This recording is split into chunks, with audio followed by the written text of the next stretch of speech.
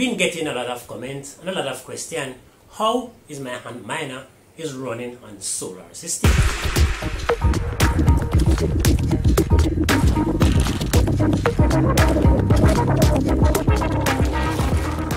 Welcome back to my channel guys. I am Alexander. In this tutorial, I'm going to go over some of the steps of my Antminer I've been getting a lot of comments and a lot of questions. How is my Antminer is running on solar system? What is my battery bank capacity and what's my solar capacity, my output and also my connection? And I intend to go about this step by step to try and see if I can make you understand best of knowledge of how I am mining with my Antminer L3 Plus and my solar system. I am not using all my solar panel on my house top for this Antminer. At the moment I am only using two. I'm going to show you in this video how it's connected with the inverter.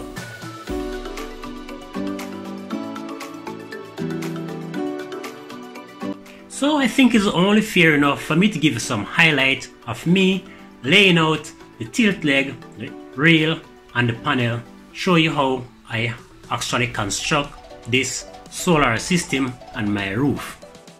Once I was finished with the tilt leg, the rail and all the other stuff, for me now to lay down 6 panels.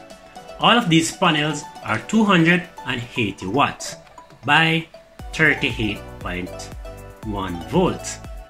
So if I were to connect all these panels together in a series connection, I would end up with 1.68 kilowatts and 31.9 voltage. Teams that we're only going to use two panel, which I already explained to you in the video. We're only using two connection panel and that only going to give us 560 watts at 31.9 volts. Reason why we are doing that because the charge controller that I'm going to be using for this application only can go up to 50 volts and at 700 watts.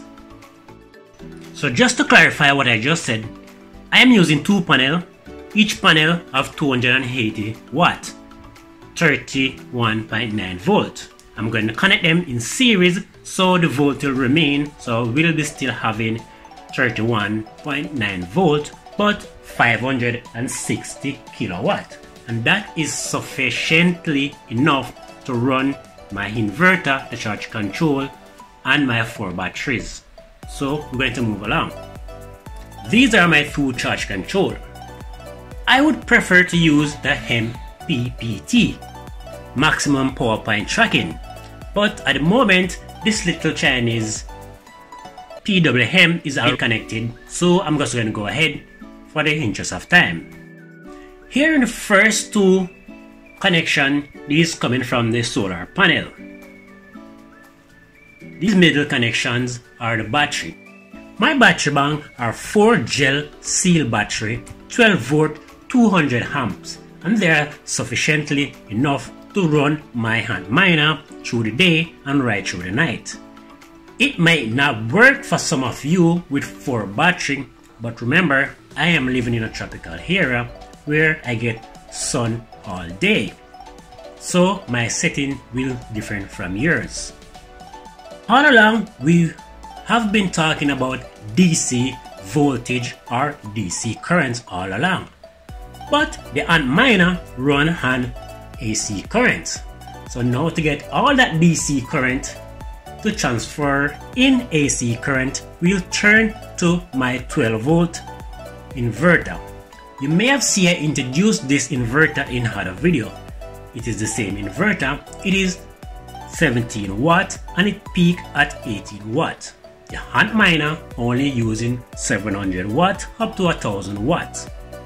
And this inverter, it is so efficient that when I put in the Antminer updated version and drop it down to 720 watt, you can see this inverter is still giving me 600 620 watt to push this Antminer.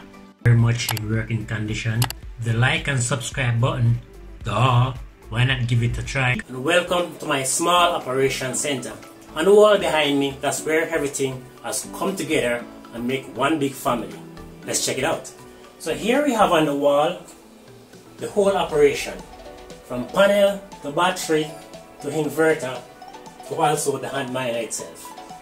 In this box we have DC and AC and breakers all connect together to combine to make the operational work. At the top of the box is DC and in the middle is AC. And I have constructed the box that way because in that box is four breaker. I have made dedicated plug for the Antminer because I would not want it to plug the Antminer directly into the inverter because the Antminer run very hot. As you guys should know that it run really hot. Hence uh, make dedicated plug for it. And that dedicated plug comes from that box. There's the solar charge control. That's where the solar and roof comes in to this the PWM charge control from the charge control directly in the battery box outside. Battery box then come back and connect to the inverter. And this is my small inverter. These are the DC side of the current. This side is the AC side that go to the box and then to the dedicated current. So this is the Antminer plug that go to the Antminer up there and this goes to the dedicated plug that I built for the Antminer itself. And I'm using this heavy duty plug because it can go up to 200 watts. So I'm using it. For the purpose of the knives right now I have unplugged the Antminer. I don't know if you can hear me over the sound or it's too loud. I've made a couple of modifications to my casing. As you can see I have an exhaust hose and an intake hose so whenever you're trying to invest in, in a Antminer, just remind of yourself that it make a lot of noise. And this is my Antminer setup right now.